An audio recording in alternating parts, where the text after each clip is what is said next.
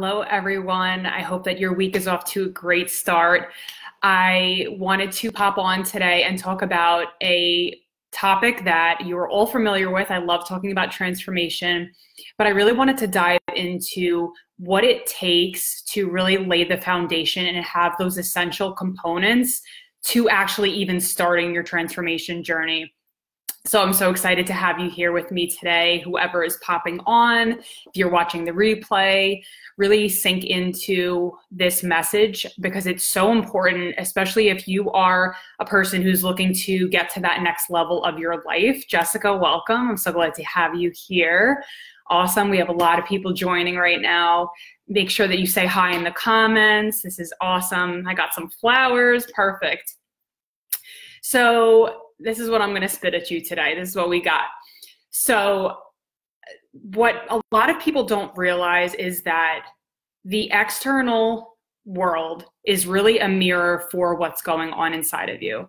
So, if you've been following me for a while, you know that's my philosophy, and I really believe that to my core. And I've seen that work in my life and so many of the other people that I help. So, for example, when someone has anxiety or they have thoughts of guilt or shame or whatever that is, it will manifest in your external reality. It will show up in every single part of your life. It'll show up in your relationships. It will show up at work.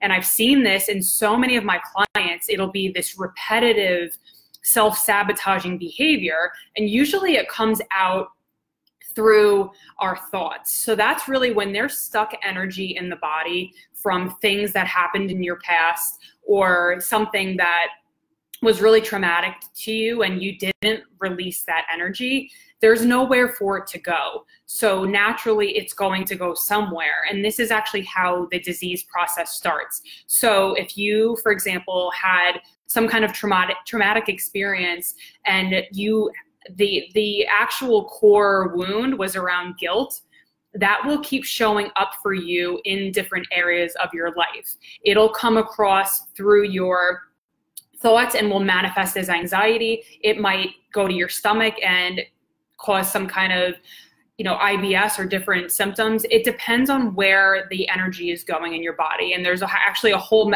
um, stress diathesis model that talks about this that the energy like we have certain energetic patterns in our body where we're more vulnerable. So if somebody has a, a weaker stomach uh, solar plexus area for example maybe they're more prone to eating disorders or different you know any i mean there's so many different things that can go on around that area. But that model really states that we are vulnerable in those areas. And when we don't move that energy out of our bodies, it is bound to just manifest in our external reality. So the first place that stuck energy will go is out through your thoughts. So if you're ruminating and you're having anxiety and you're worrying all of the time about certain things, that is actually a signal. That is an opportunity for you to look within and and I recommend meditation for any of this. Meditation helps you in so many ways. It helps change your brain frequency to promote healing. It helps to uh, decrease, you know, inflammation in the body and so many other amazing benefits. So if you're really looking to transform, meditation is key. So back to what I was saying around um, the symptom, like if you have a symptom you need to be that's your external symptom there. You have to be looking inside and asking okay like what is the feeling that i don't want to feel? Because the anxiety it could be a symptom it could be ruminating thoughts but there's something trapped in your body that you're not processing through you're not letting it out.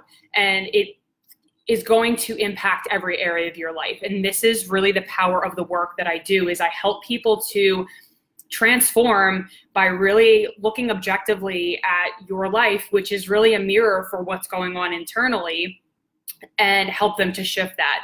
So let me give you a concrete example. So say that you you have a business and you are working really hard. You hired a coach. You are doing everything that you can, but you keep bumping up against resistance. You keep finding that people aren't receiving, they're not receptive to your offers, or you're struggling, you're working more hours but not making any more money.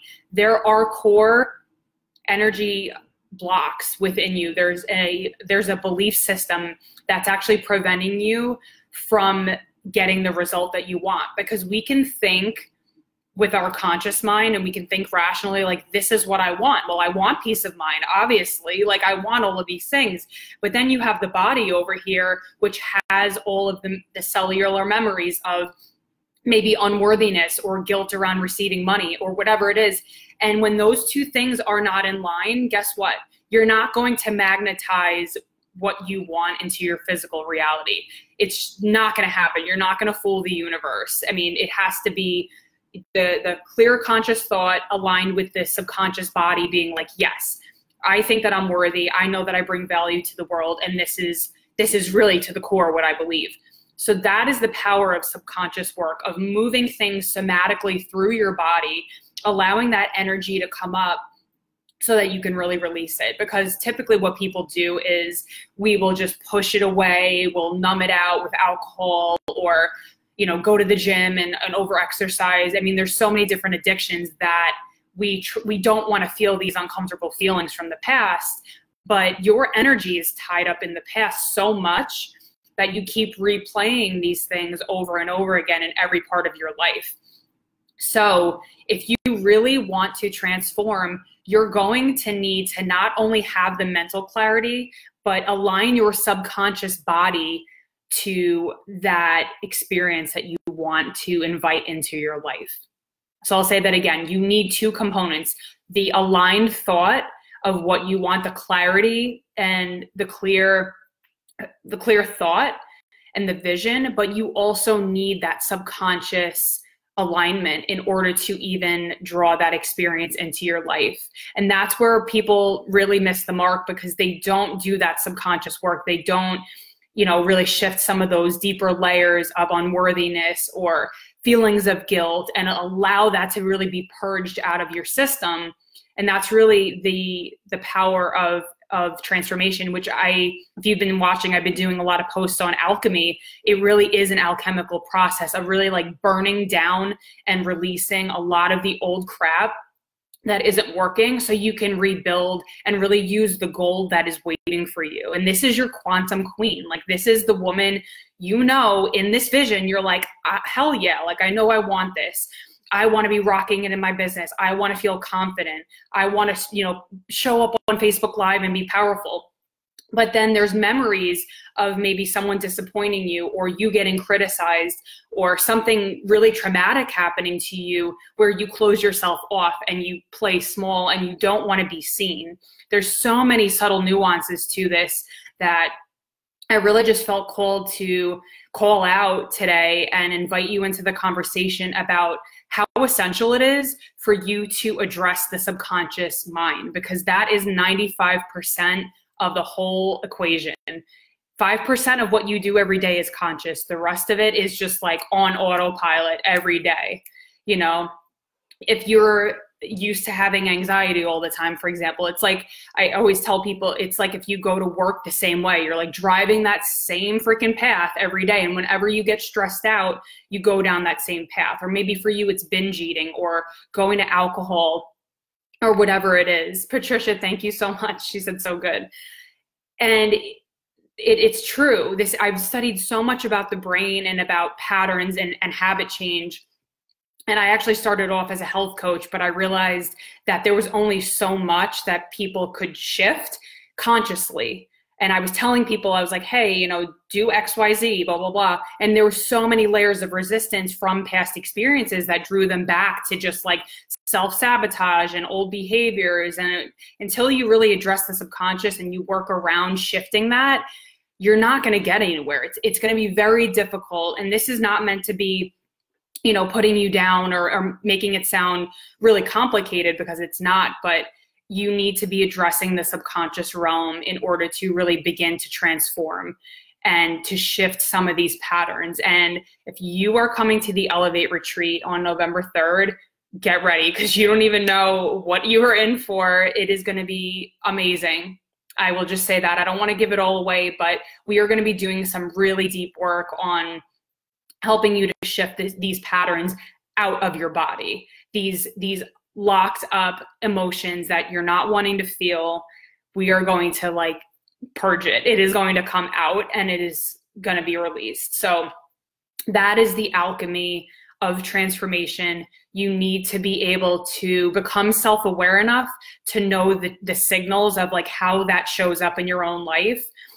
So if you're used to maybe guilt or you're used to anxiety or a certain way that your brain is wired, those are the neural pathways that you have been running you know? And you can create new ones. That's the beauty of it. There's neuroplasticity in the brain. You can create new patterns.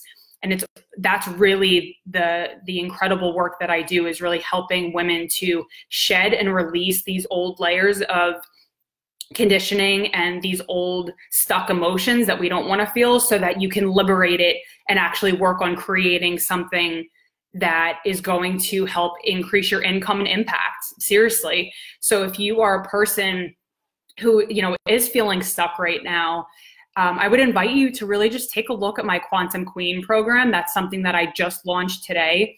And this program is really designed to be an alchemical process. So it's helping to really burn down that ego, those limit, the limited self of who we think we are, and really shed those layers through different practices, alchemizing your frequency, uh, reprogramming your self image. There's so much to it in this program that I've layered specifically to really help you embody that quantum queen that you have in your vision. Like you have the vision, it's clear, but there's still some stuff getting in the way. Once that is gone and you really release a lot of that stuff, it's just boom, alignment, and you are magnetized to drawing things into your physical reality. It is incredible. And I know because I have gone through it. So um, if anybody has any questions or if you want to reach out to me and and um, you know have any comments about this, I would love to connect with you. And um, just popped on because I felt like you know that message really just needed to come across today. So anyway, I hope that you are all having a great start to your week, and I will talk to you again soon.